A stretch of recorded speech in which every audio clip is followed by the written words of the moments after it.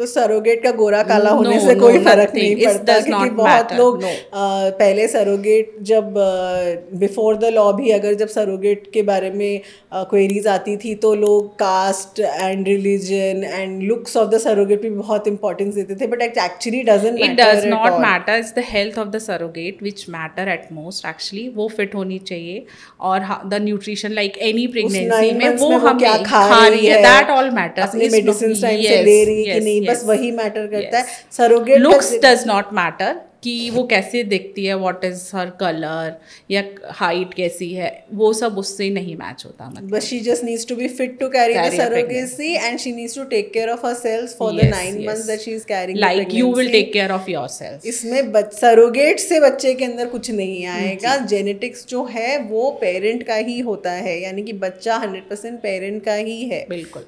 या yeah.